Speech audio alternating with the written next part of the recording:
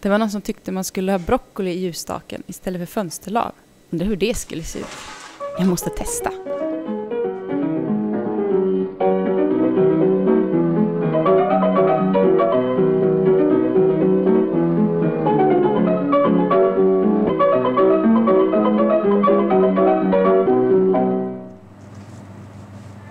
Undrar hur mycket broccoli jag behöver. Blomkål? Hmm.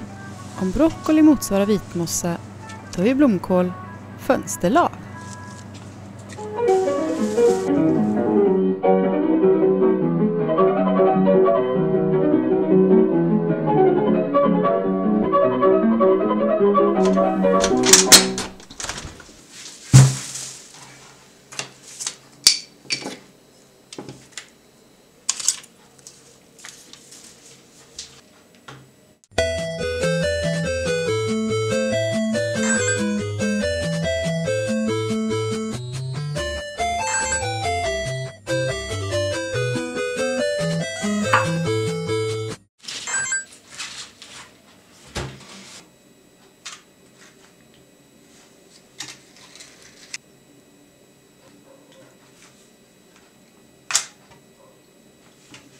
Ja, det blev ju faktiskt ganska bra.